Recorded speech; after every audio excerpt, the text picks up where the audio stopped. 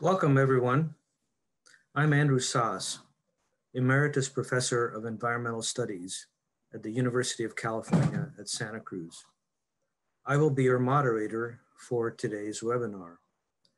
This is the third event in a series called Inspiring Change in Times of Crisis, Conversations That Matter with Right Livelihood Award laureates, co-hosted by Right Livelihood Foundation and UC Santa Cruz.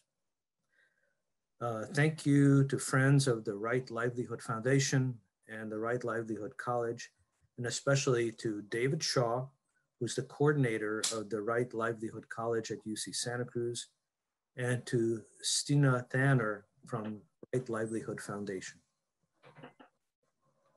If you have any questions uh, during this webinar for our panelists, uh, please email us anytime at rlc-webinar at ucsc.edu. So let me repeat that, rlc-webinar at ucsc.edu. And please visit rightlivelihood.ucsc.edu or rightlivelihoodaward.org to sign up for our mailing list to receive information about our future events. We also uh, encourage you to subscribe to our channel on YouTube to be notified as we post more videos from this series. The next event, uh, for your information, will be next week, May 13th, with the topic of current threats to democracy, featuring Frances Moore Lappé from the US, Vesna Teršelič from Croatia, and Elizabeth Beaumont UC Santa Cruz acting as the moderator. So let's get started. The theme of today's discussion is water. Water contaminated by toxic chemical waste, hundreds of millions of the world's peoples living without access to minimum necessary quantities of clean water. These were grave, immense issues long before the coronavirus pandemic arrived. Now, with the pandemic raging globally, we are uh, faced with new questions.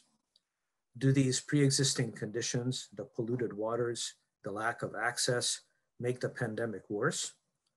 Uh, conversely, will the pandemic affect society's future ability or willingness to improve access and quality?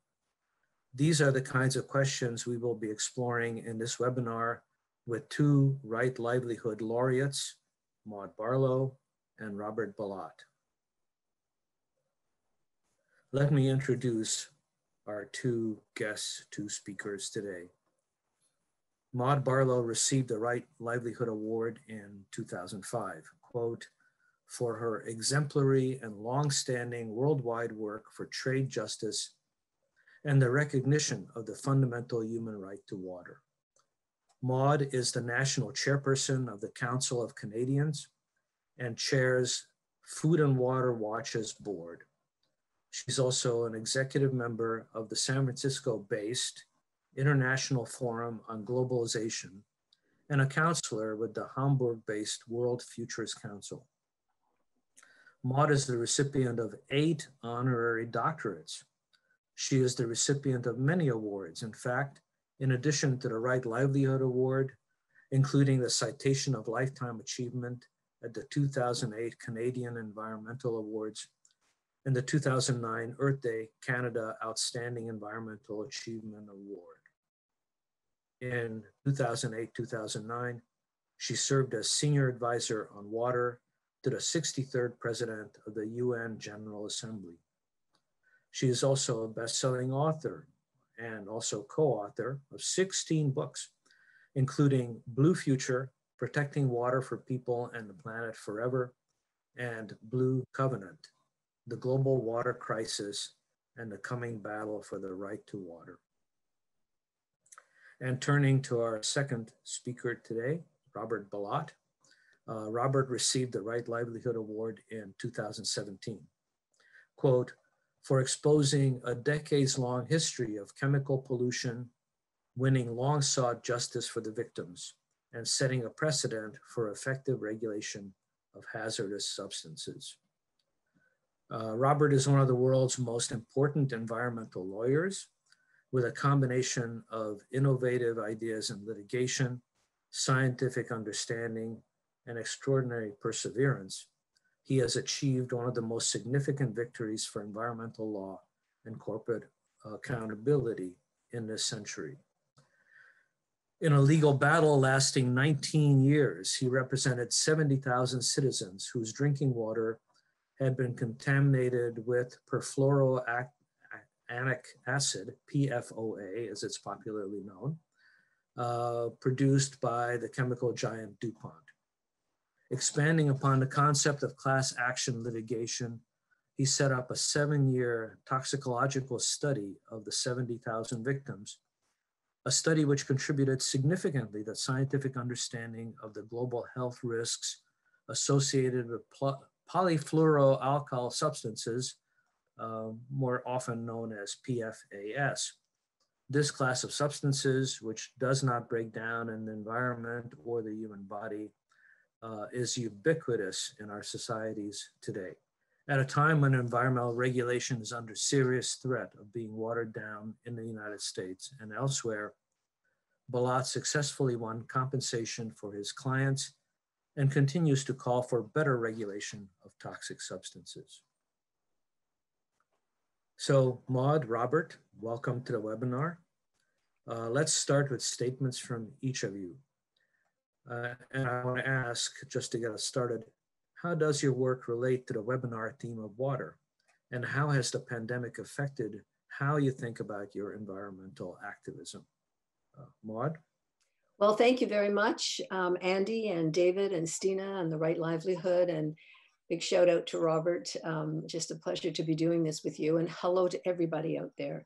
I know these are challenging and difficult times, and I'm deeply grateful um, to have an opportunity to be part of this because I think the, the more we can talk, the more we can share, um, the more we sh share the, the burden, if you will, and, and the more likely we're going to come to a better world when, as, as, as some sign says, uh, we're not going back to normal because normal was the problem in the first place. So, um, so thank you for the, those questions. I've been working on the global water crisis for many years.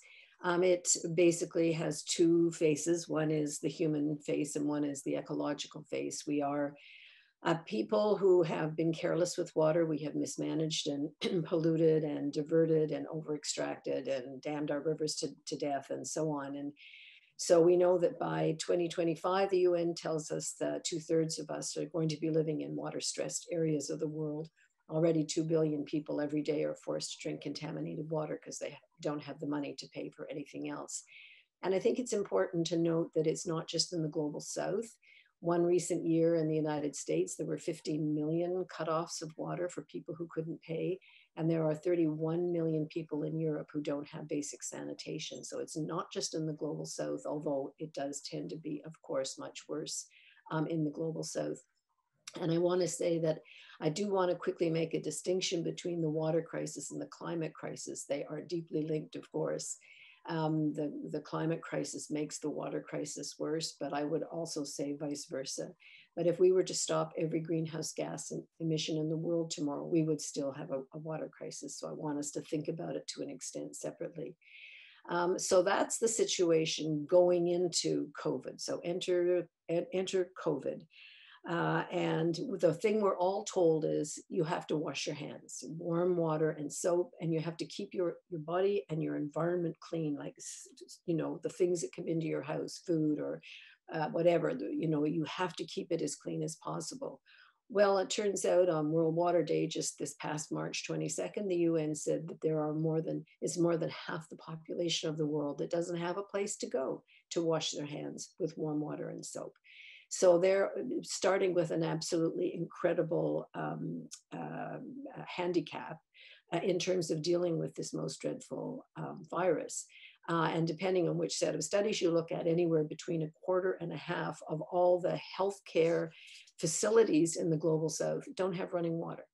So you imagine trying to deal with that anyway, and then along comes uh, the COVID crisis. I mean, the examples are so many. 21 major cities in India are in water crisis. There's 36 million people in Mexico without access to clean water. So try to imagine the COVID arriving on top of that. Um, like some people like to say it's an equal opportunity virus. We're all in this together. Well, actually, no.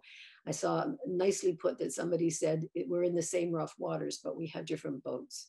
And some people have no boat at all, or boats that are just leaking um, into these rough waters. So if you're starting off poor or disadvantaged without access to water, without access to good food, you're already in uh, in a crisis that that uh, many people are uh, in better circumstances are, are, are not are not in. So what's happening is that governments and aid agencies are scrambling now to deal with the water crisis as they're dealing with the COVID crisis.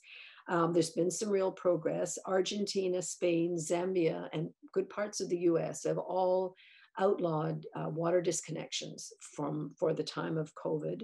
Others, such as South Africa and Indonesia, have brought in new legislation saying that, you know, because they want to meet the COVID crisis, they're um, scrambling to bring in new water uh, programs. And we have uh, aid agencies absolutely um, turning their priority towards um, the, the water crisis. So it's the, Andy, the, the question you put was a very good one.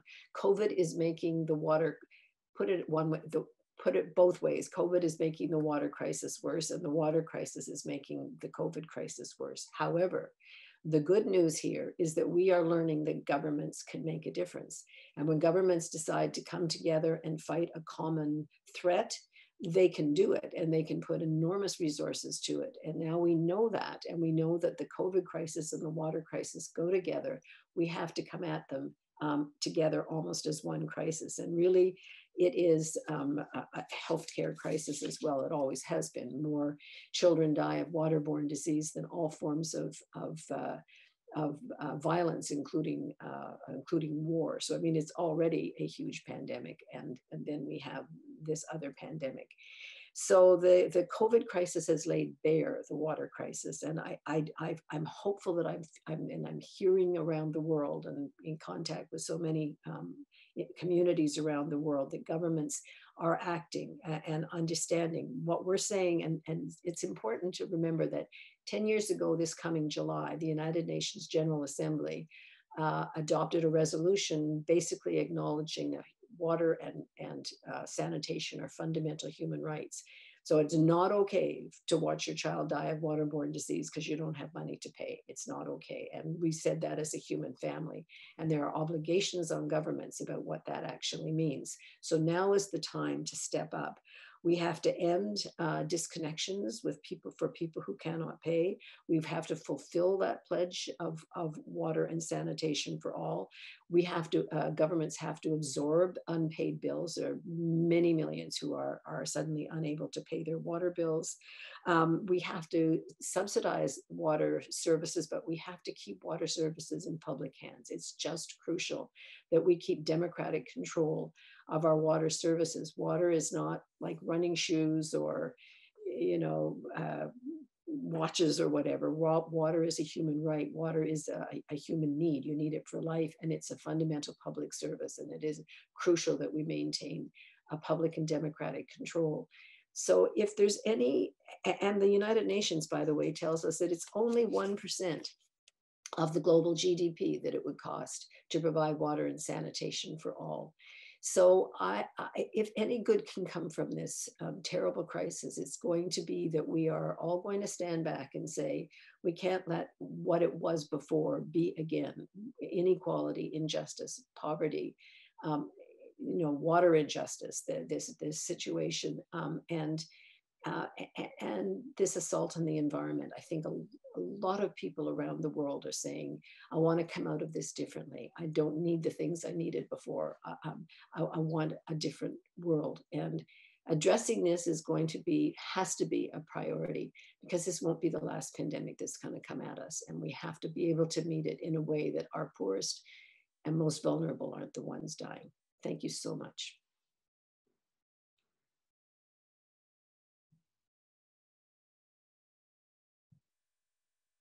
Unmute myself and say thank you uh, for that statement. And uh, Robert, um, it's your turn. Invite you. Thank you so much. And, you know, it's really an honor to be here and be able to talk with, uh, be on the same platform with, with Maude Ms. Barlow. And, and really, I want to thank the folks at the Right Livelihood Foundation, the Right Livelihood College for putting this together. It's really a valuable service for all of us to be having these discussions. Um, and it's great that we're able to do it um, be able to get together in this way with modern technology like this. So again, thank you so much for the opportunity. Uh, thank you for putting this together. Um, you know, uh, the, the issue with water, obviously we, uh, we're, we're dealing with not only the, the access to have water, but what about the water that we're actually drinking? Um, and I think that this particular um, crisis that we're dealing with right now with the virus is really highlighting, um, I, I, think, the concern that we all have about what's in our water um, that we're that we're actually getting. For those of us here, for example, in the United States, I think most people here would think this isn't a problem for us. We have water. We have the, we have clean. We have the. This is the U.S. We have the. You know, we turn the tap on and we have access to water. We have, this isn't a problem we have to deal with. That the problem is what's in the water. Um, and it's not just in the United States, but all over the world. Um, and you know, one of the things we have to think about, you know, we're talking about, for example, a virus that all of us right now are trying our best to avoid being exposed to something. You know, trying to do everything we can to avoid being exposed to something that might make us sick, might make us very sick. Um, um, and here in, in a number of places across the world, we have water that is contaminated and we know it's got contaminants in it that will make us sick. Uh, for example, one of the, the, the issues I've been dealing with over the last 20 years um, is with this family of chemicals you heard mentioned here at the beginning of the program, PFAS, PFAS chemicals that have managed to find their way into drinking water supplies all over the planet um, not only throughout the United States, where there are some 100 million people that are estimated to be exposed to these chemicals in their drinking water, but these chemicals have managed, managed to find their way into water supplies throughout Europe, throughout Australia, throughout New Zealand. And essentially everywhere that's being tested is, is almost, almost every place is now finding one or more of these PFAS chemicals in the water. And it's of great concern uh, because these are chemicals that have a number of different effects on us, including, uh, most disturbingly, for, in the context of the current situation where we're dealing with a virus, is the ability of PFAS chemicals to reduce uh, our ability of our immune system to fight off viruses and disease. That's one of the things that, that researchers right now are most concerned about with this family of chemicals is the ability to decrease immune system response. And in fact, some of the most recent studies that have been done with this family of chemicals have linked exposure to these to decreased effectiveness of vaccines in children. You know, and so you think about this, you put it in context. Here we're all being encouraged to, to, to stay home, you know, to be using our tap water, to be using it as, as often as we can, to be washing our hands. And um, we're all probably drinking a lot more of the tap water than we used to when we were out in, in other areas. Um, and we've and there are so many places across the country that have these chemicals in the water that are actually potentially decreasing our immune system response or decreasing our ability to, to fight off infections and disease.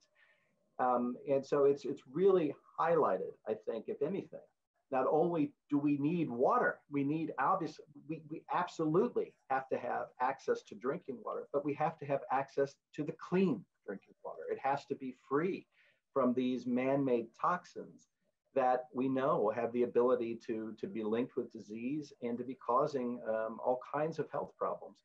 Um, you know, these are chemicals that we know have gotten into the blood of almost every person on the planet already. They're already there, and we're continuing to be exposed. And so I think, if anything, I, I'm hoping that we're seeing a really heightened awareness um, around safety of our drinking water and the concern that we be understanding exactly what's in our water. You know, in here in the United States, most people just assume when we turn that tap, you know, that somebody has already made sure that it's perfectly safe and that if we're drinking this water, there's no, nothing to be concerned about, that there are government entities and agencies that have, have studied all of this and made sure everything is perfectly safe. And unfortunately, the, the reality is uh, there are uh, relatively few uh, chemicals or contaminants that are actually sampled for or analyzed in, in our drinking water. Um, and there are a number of these additional compounds out there, like PFAS, uh, that have made their way into our water supply that, that frankly, um, most, most people don't know are there because they simply haven't been tested for or analyzed for. Um, and what we've really seen within the last year or two is uh, something I've been greatly encouraged by. Um, you know, events like what Right Livelihood Foundation has sponsored, you know, discussions about these kinds of of issues have really, I think, started to highlight and, and bring increased awareness among folks to say, we need to know more about what's actually in our water. We need to understand how the, how the processes are set to analyze what's going into our drinking water, whether it's safe. How are those standards actually set to determine whether something is safe to be in our water? Uh, who's setting those standards? you know, who is actually generating the science that's being used to make these decisions?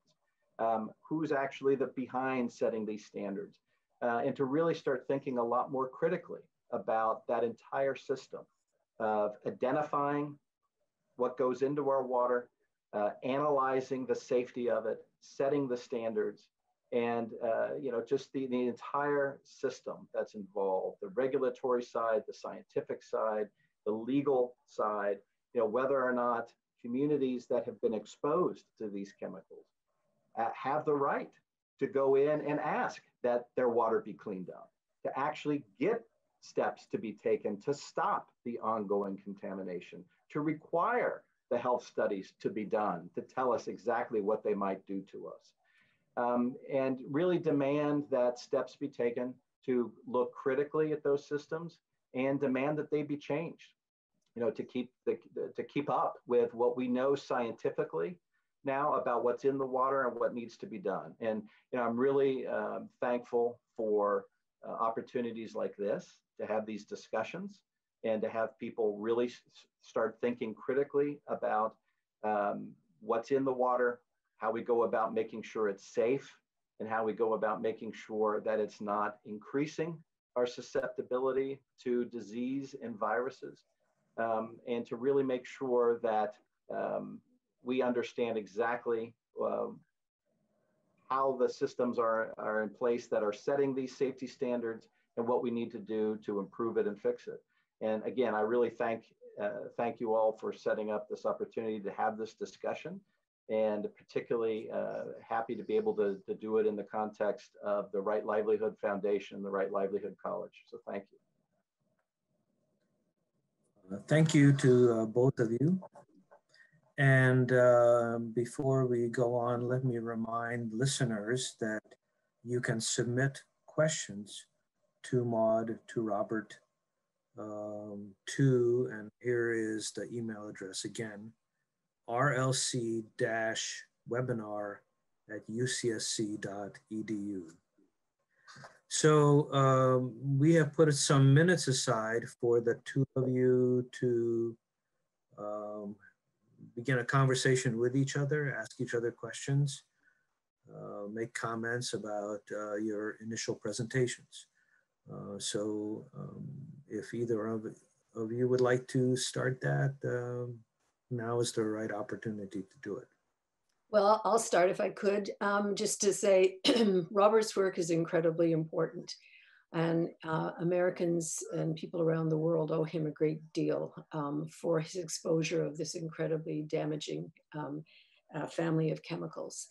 Um, there are other chemicals, of course, Robert well knows. Um, one study that I read um, from the United States was that 87% of North American, or the chemicals that we find on North American shelves, have not been given approval by, um, certainly in our country, I'm Canadian, by our government. And I know we're, we're allowing uh, materials into our water in North America that are banned in Europe. So, you know, there are, when governments decide that they want to protect the health of their people and the, and the, the water itself, um, they can do that.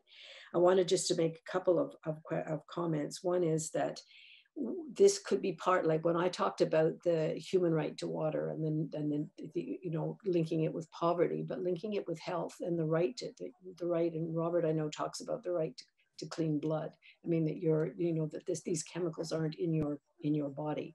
Um, this must be part of of what we come out of with this. If if governments can come together to to uh, you know to, to have this massive response to the COVID crisis, which you know we all know is a terrible threat to the economy, but the health health of people comes first. Then we can do this on other fronts. There's no reason we shouldn't be having much stricter uh, testing and protecting of our water. Uh, and I, I, I, feel that this could be something that we that could be one of the very clear demands um, coming out of, of this crisis. It's just not going back there. And you know, other times when when public water systems were put in, when wastewater and sewage systems were put in, it was often because people realized people with the power to do something, the more I guess more political elite realized that if you didn't do it for everybody, nobody ended up being safe. So in, in a way, the health threat here helps us to argue um, for for um, better you know better health services, including uh, clean water. I do want to make um, a caution around thinking, and I and I know Robert shares this um, uh, uh, that the bottled water is a, a better solution because of course these chemicals are found in bottled water as well. Many of the much of the bottled water you get is just tap water anyway.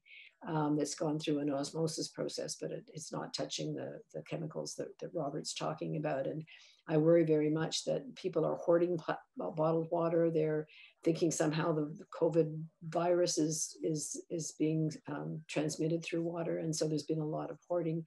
And we know that uh, something like this year, a half a trillion uh, bottles of plastic water are, are bought and sold. That's a million um, plastic bottles of water every minute.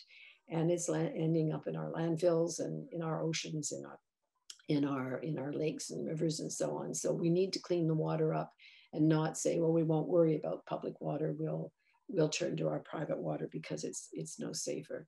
But I, I, I do, I, maybe it's just the perennial optimist in me, but I want to see something come out of this that makes us better as humans, that makes us care about the things that matter, the health of our young people, the health of our environment. Um, we can do better. And Robert has shown us the way on, in this particular case. Well, you know, I, I think you you've made some ter- tremendous points here, and you know the, the the entire concept that you've been so eloquent about, you know, that the right to clean water, the right to drinking water, that that should be a human right mean, nobody at this point seems to be questioning that we shouldn't be exposed to a virus, you know, that there should be steps taken immediately to protect people from that because it might make them sick, you know, and or might make very serious health consequences.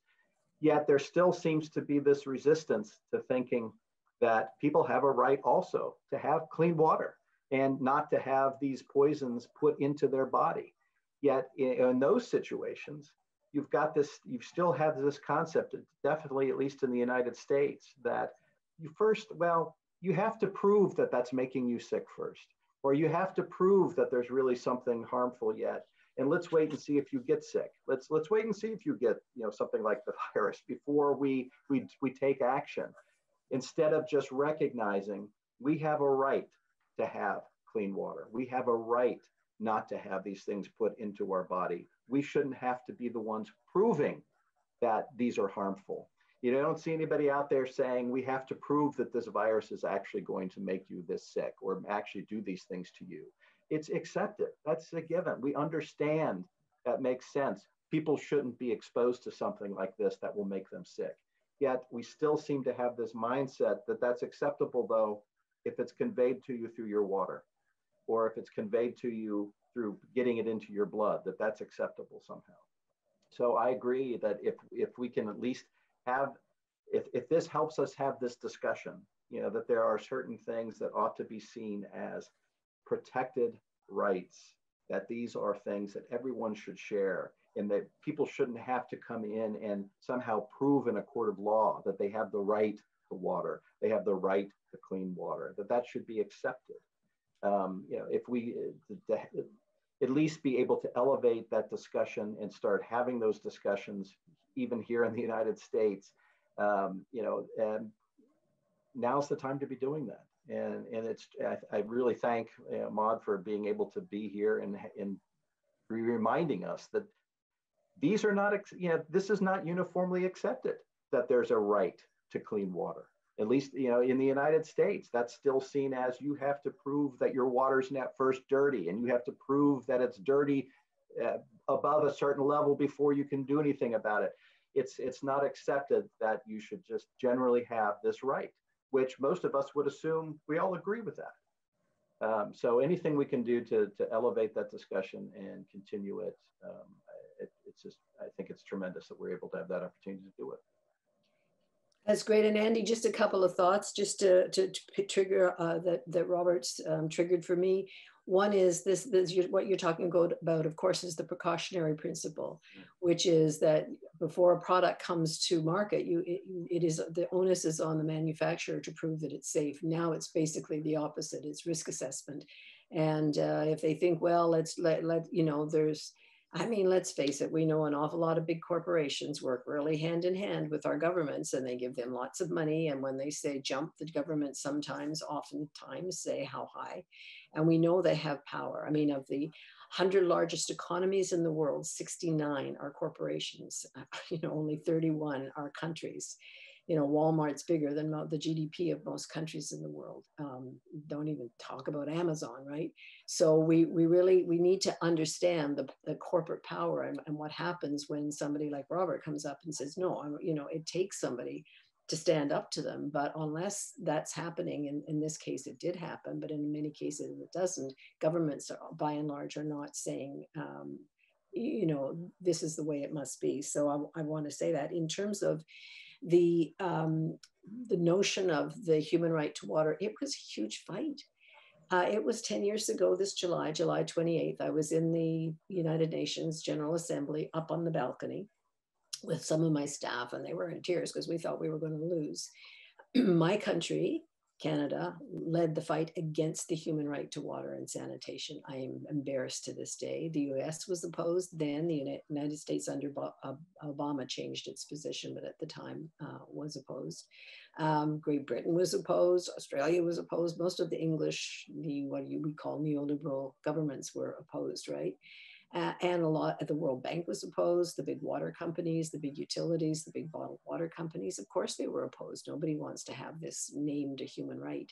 Um, we won, 141 countries voted in favor, and none of the countries, including Canada, that had, had opposed it, had the nerve to vote against it. They abstained, which I thought was cowardly. You know, you know, you know, you know, you're not supporting it. Don't be, don't play games here. But all the countries in the world now have adopted it. It is a UN resolution, but that that was a real fight. And it, it, you, you think, how can it be a question that the water, that everyone has a right to clean water, or as Robert says, that the water coming out of your tap is clean. So that's the last point I want to make here. And that, that is when that resolution was adopted um, in July, uh, uh, 10 years ago, this July, Two months later, the Human Rights Council laid out a very clear plan of what that meant. What does it mean? The right to water? What does the right to sanitation mean?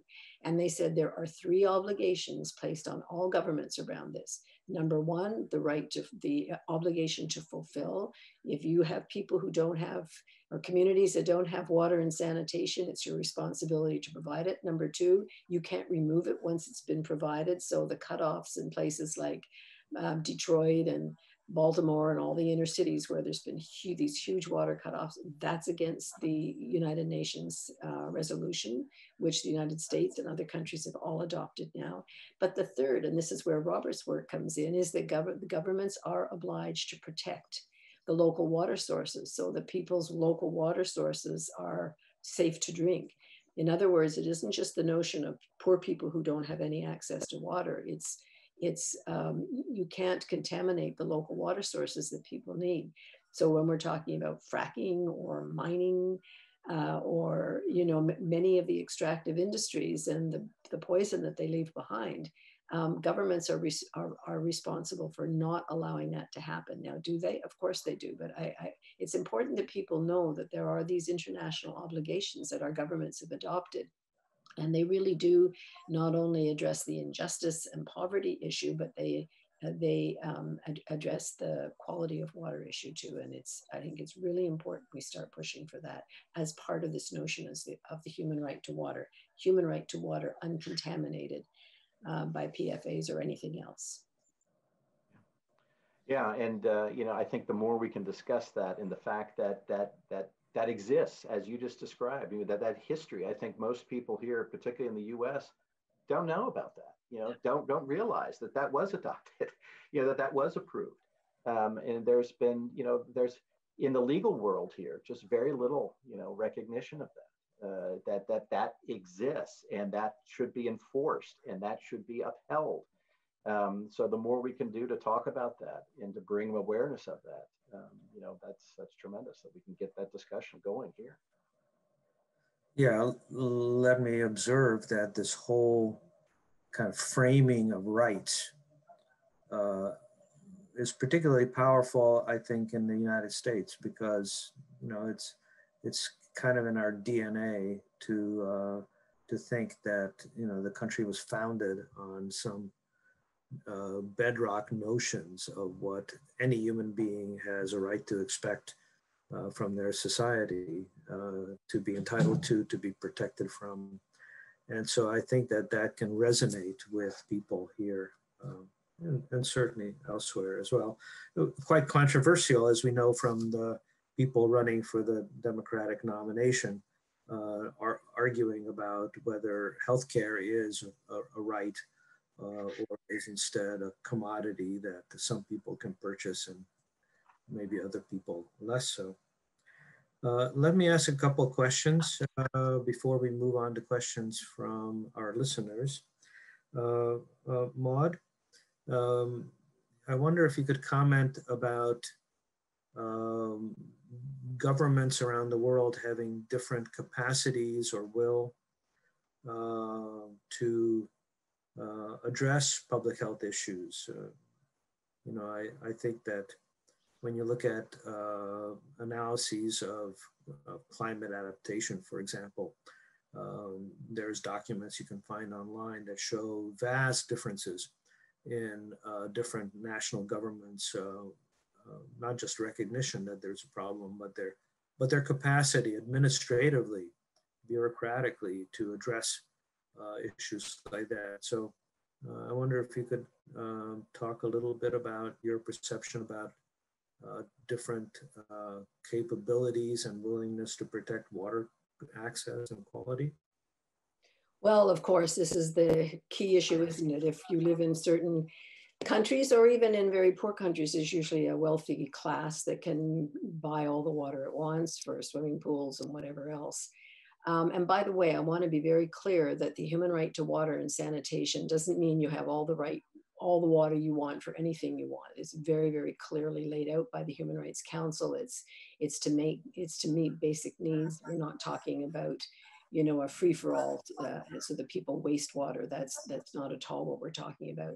But yes, we have totally uh, different realities in in many countries, and of course, it's linked to um, intensity of population, um, migrants, people living in um, in refugee camps or or inform what they call informal camps, uh, um, slums which haven't been recognized, and therefore the government's saying, well, we don't have to provide water to them.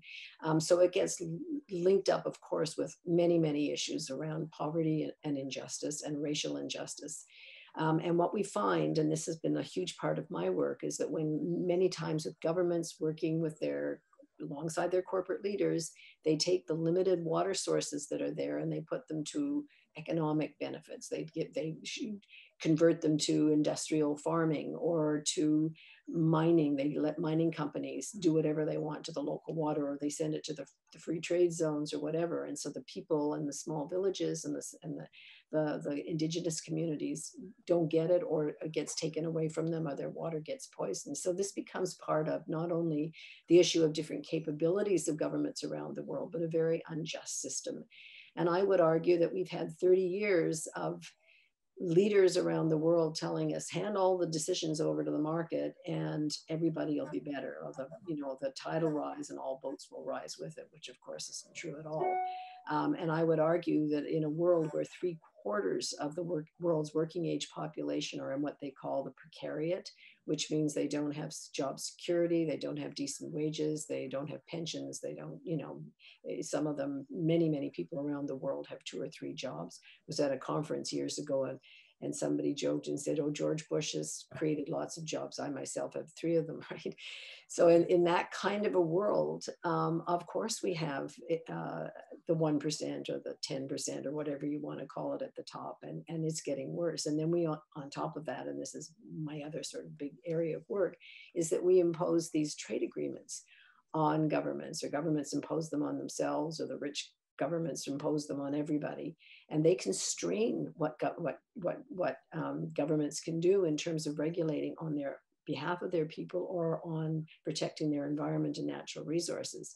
One of the big issues that we have is with this thing called isds the investment investor state um, settlement uh, dispute settlement which is where corporations are given the right to bypass their government where they're located and lay a charge against, a challenge against a, a, government of another country if they feel that their environmental laws or their human rights laws or whatever are getting in the way of their profit. So we've skewed a system in many ways. And, and then as we, as the population grows, um, as these water sources become so scarce, as we see water as a resource for us, and, you know, our pleasure and profit as opposed to being the living element that gives us all life.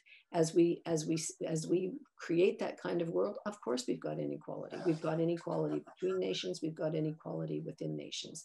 So this fight for water justice has to take place uh, against a larger tableau of looking at international policies national policies what matters to to our governments how much power these corporations have. We we have to challenge that um, while we work and, and really understand that, that, that we're going to have to also, and this is another lesson from COVID, we can't say it's okay for us here, but we'll let those people die. It just simply can't be like that. And, and that's another tough lesson from COVID.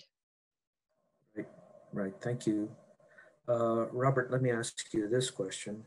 Um, you know, the last time that I studied regulation of uh, hazardous materials in, uh, in water, uh, which was back in about 2007 or so, uh, I kept seeing that Congress kept acknowledging that there were um, more chemicals in tap water, typically in the US, than were being tested or regulated, and ordered uh, further research uh, so that perhaps chemicals, more chemicals would be listed as uh, needing to be regulated, need to be removed from the public water supply. And my impression at the time was that uh, timelines kept being pushed back, um, that the testing uh, capacity of the laboratories in the US was insufficient, uh, that there was an intention to learn more about uh, contaminants in the public water supply, but that things were lagging seriously. And that was during an era where environmental regulations were, uh, let's, let's not say enthusiastically being enforced, but at least being acknowledged. And uh, there have been other times, other administrations where environmental protection is neglected or uh, um, is you know treated as something that's undesirable. And I wonder if you can, you know, uh, in a couple of minutes that we have left, say something about uh, the kind of long term, like what has happened to the regulation of water, uh, contaminants in water in the past 10 years or so? Sure. You know, you, you've hit on a, a really important area, you know, and we're really talking about a real systemic problem here with the way in which regulations are set uh, for drinking water contaminants. At least in the United States, it, it's an extremely long, cumbersome, complex process.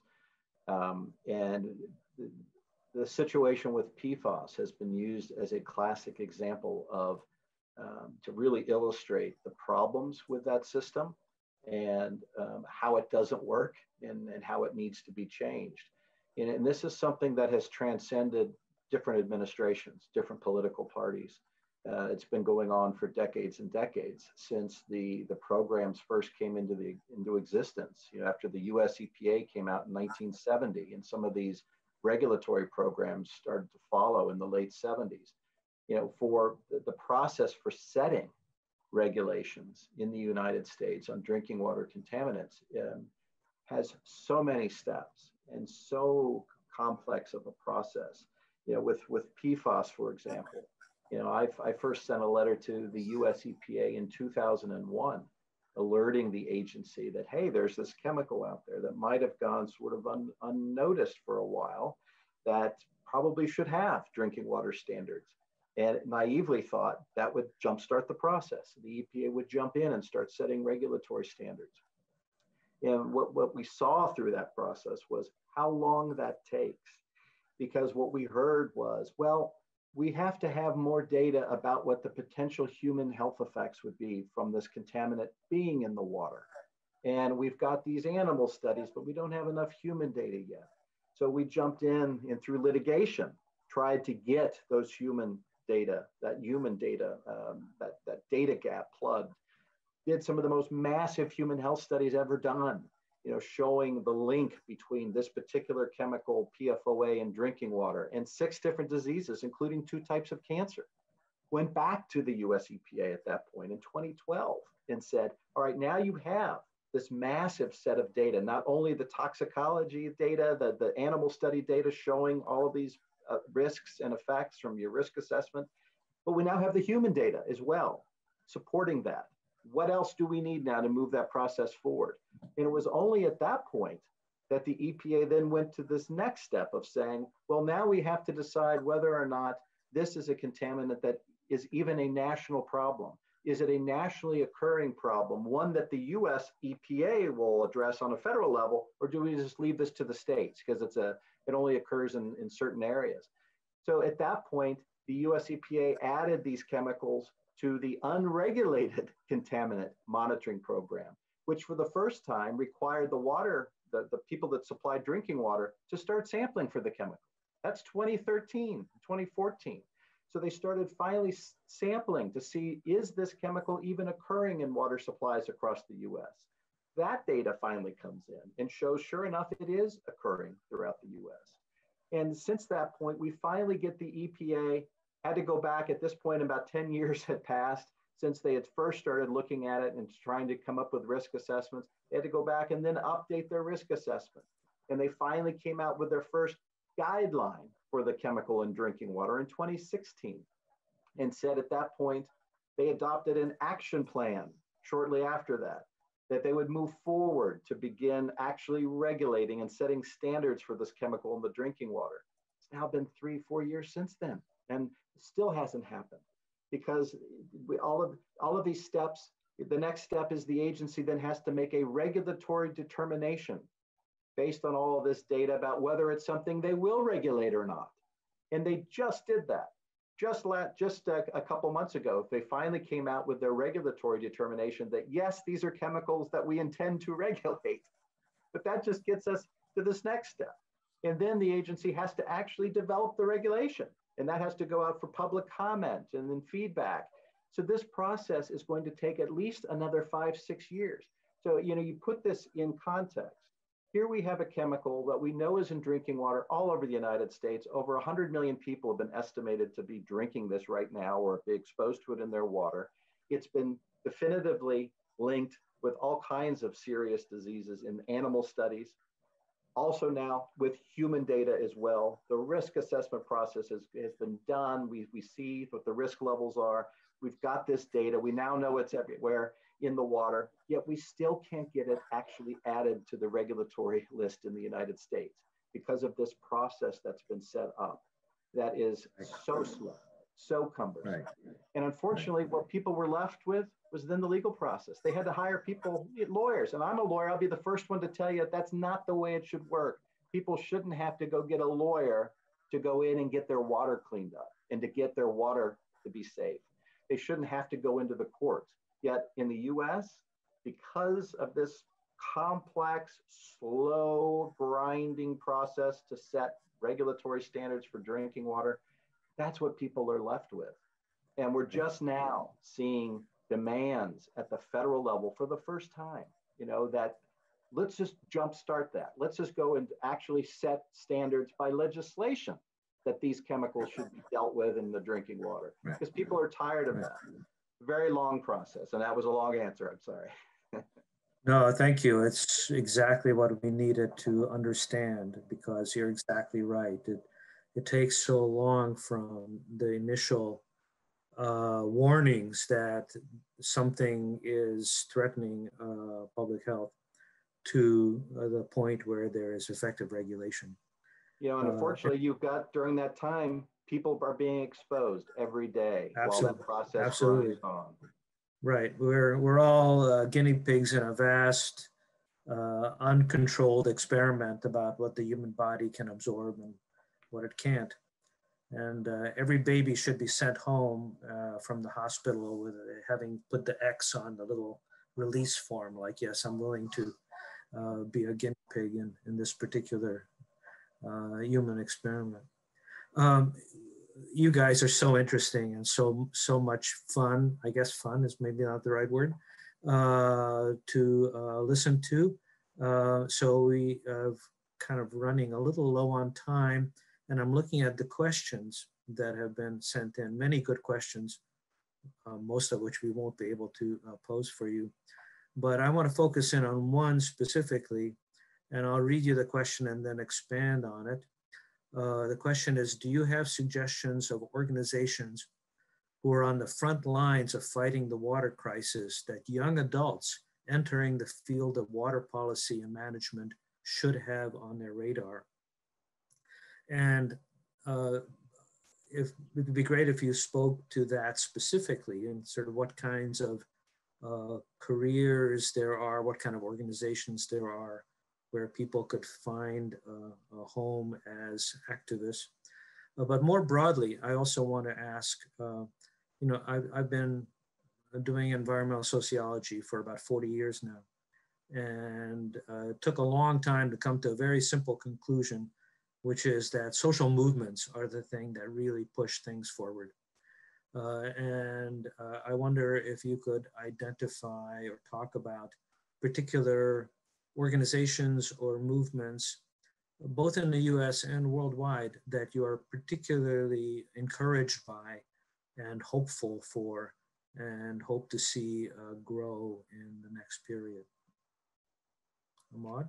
Well, maybe I'll start. Um, just I'm assuming that the majority of people joining us are from the United States. I may be wrong, but so I'll just say for the US, um, I, I really recommend Food and Water Watch. Um, it's a very, uh, a very, very dynamic organization. I'm on the board, so uh, full disclosure here, um, although I'm Canadian, but it's a, a, really, really wonderful organization fighting for safe food, um, safe conditions for growing food for farmers, um, and um, safe, clean public water for all.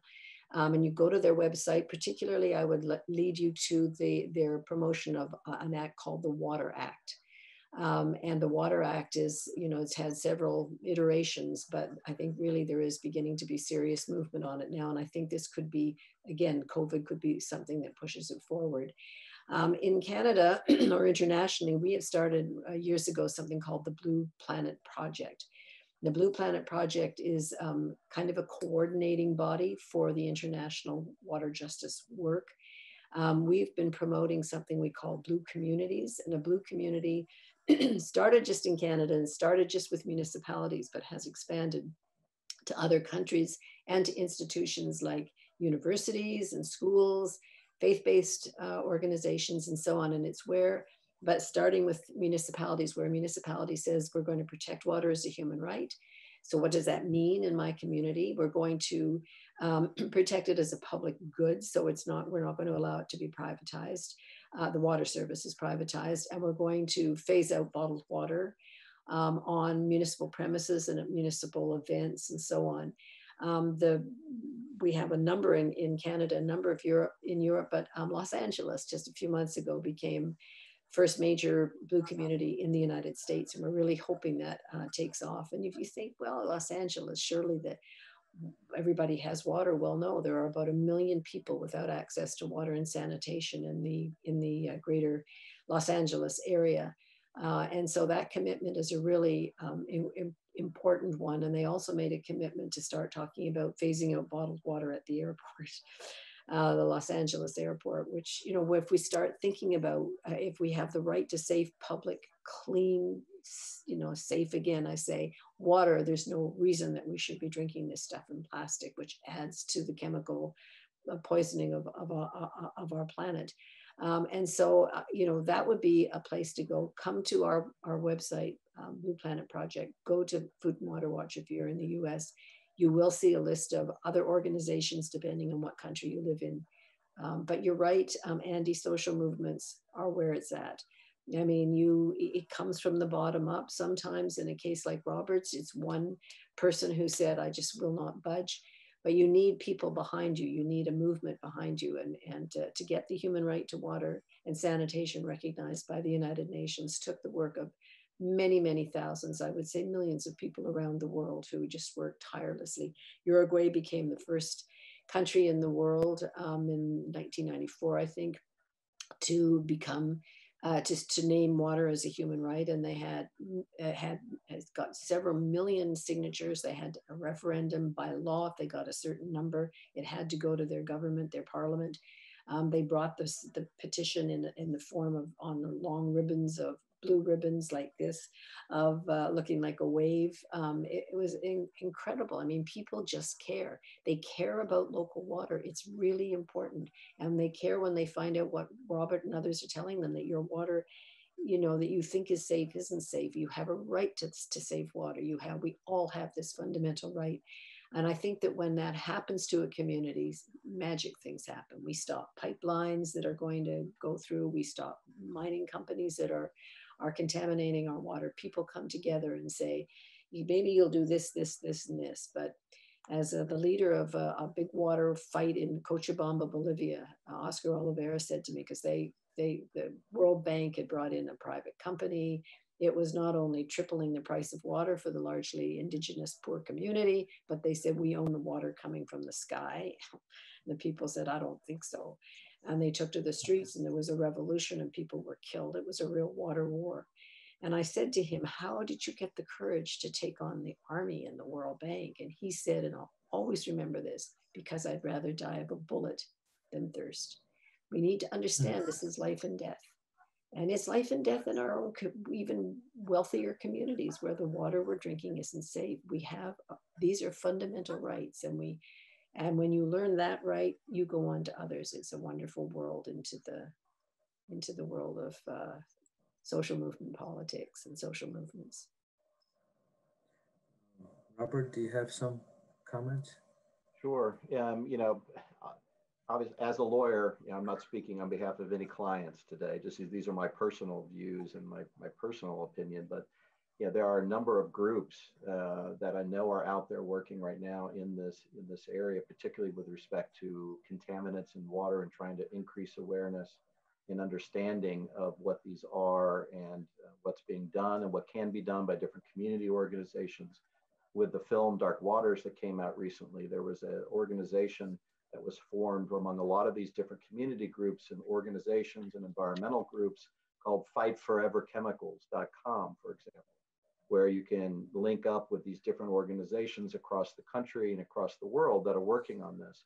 You know, groups like the Environmental Working Group, Green Science Policy Institute, Center for Environmental Health, Safer States, or uh, Toxics Action Network. There are a number of different organizations out there that are that are trying to make information available about um, you know, chemical contamination in water, how you can get involved in it, how you can work within your community, um, how you can link up and, and try to access information that these other communities may have. Um, and be able to work together and, and try to elevate awareness and, and really um, you know, be able to, to, to, to bring greater attention to all of these communities, but through a, a linked network. So I would encourage people to try to check that out. And, and you know, if there's there's always a place um, you know available for folks, particularly like you indicated before. You know, it just takes one person standing up and speaking out, and um, you know, even more powerful when you can get your community involved in these different communities being linked up together. Um, you know, is, is I think a tremendous power. Great. Well, um, I see that it's uh, 9 a.m. and we've used up our whole allotted time. Uh, David um, send me a little note if, you guys are willing to do a couple of extra minutes. Um, are you? Sure. Can ask maybe one more question. Um, so there are a number of people asked a much more specific question about uh, um, coronavirus uh, lurking in uh, drinking water, uh, ocean water, uh, do either one of you, I know this is a stretch, um, but do either one of you have any, uh, uh, looked at any scientific findings or studies that um, look at, you know, people are, understand that it's person to person uh, particles in the air, which is the major form of transmission. Uh, anything out there about uh, transmission through um, contact through water? Not that I, I have not looked into that. I'm not sure. I have, all I've, I'm not a doctor or a scientist. I have read that the, there is absolutely no way that water uh, carries the COVID virus. Uh, so I think I would uh, encourage your the people asking the question to Google that um, because I there have been expert statements saying that the water water is safe from that. It may not be safe from the chemicals that, that Robert's talking about. Yeah, the only thing that I've seen is a, a initial um, notice from the CDC that um, pool water, people use it for lap swimming. Uh, yes. Since it's treated yeah. with uh, chemicals is okay, but it, it wasn't definitive. Yeah.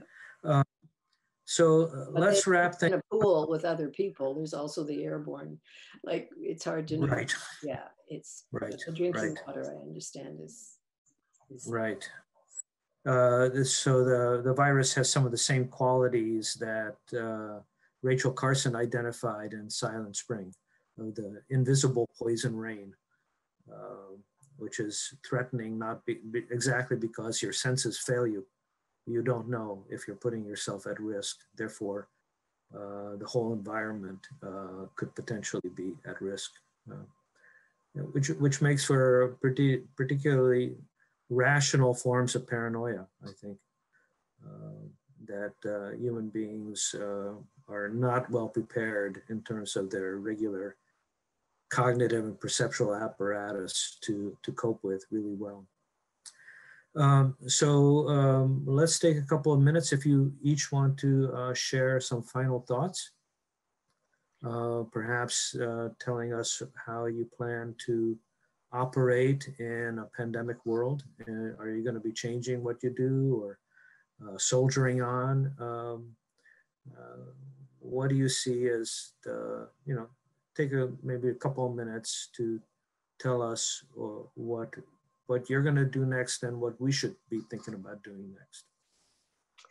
Well, maybe I'll start just to say again, thank you to, to everyone who put this on and everyone who's been part of it. Um, I would like to see the environment, uh, protection of water, protection of air, protection of our soils to become as to be take to be put on the same plane as as the COVID uh, for all of us, for our governments, for our leaders. Um, for you know, we come out of this with an understanding uh, that change has to happen, and I will be doing whatever it is that I can to make that happen. I mean, what we've read is that people are, uh, some people are actually living because the sky, the air is cleaned up. And you know, just read one study in, from London, England. Um, but the skies over Europe, the skies over India, they can see the Himalayas. Uh, so what does that mean? What you know, what what what are we doing with the environment that is so dangerous to our health, and can we understand it? Can COVID be in its awful way a gift to us to make us understand that? um, will be, our, my organizations will be adapting to the new reality and working with people as much as we can um, to walk us all through this. I particularly worry about young people and the profound changes that this is making to their lives. But can we come out of it with clearer values? Can we come out figuring out a better world? Because the, as I said earlier, not back to normal because normal was the problem in the first place. I think we can. Um, and uh, I'll be there as much as I can, and, and so will so will my organization. So I just want to thank you all, and particularly to young young people and students watching this. There's lots of room for hope. Hope is a, a moral imperative, and uh, we'll all get through this, and we'll get we'll we'll come out the other side better people. Uh, Robert. Uh, incredibly well said. that was fantastic, and I couldn't agree more um, you know, I, I, can, I intend to continue doing what I've been doing, although it uh, probably is going to be occurring here from my basement or somewhere in the house.